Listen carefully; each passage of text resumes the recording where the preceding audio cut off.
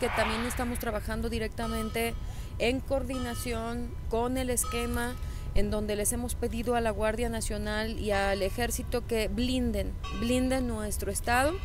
A ellos les toca, yo lo, es, lo, es lo que les he pedido yo al gobierno federal, el blindaje a nuestro Estado, a las carreteras, tenemos que hacer posible que haya personas, personal de seguridad pública que estén cuidando las carreteras, que estén cuidando y blindando. Eh, el tema aquí es la coordinación y pedimos a la Guardia Nacional como a la zona militar número 14 pues que blinde nuestro estado, más esta zona de allá, este, pues la carretera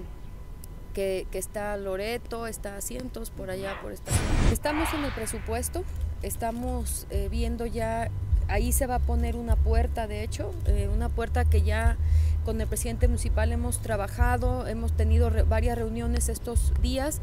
y efectivamente va a haber una puerta rumbo a Loreto, Zacatecas y otra puerta que va a estar en Calvín. Eh, ahorita lo que pretendemos es que en próximos días se presenta los presupuestos para poder eh, ejercerlos el próximo año. Las prioridades siempre es salud, es el tema de seguridad, eh, el tema también de educación, de desarrollo económico que nos han pedido en el campo. Ahorita estábamos platicando con los empresarios, todos los sectores económicos son importantes, vamos a crear este consejo de evaluación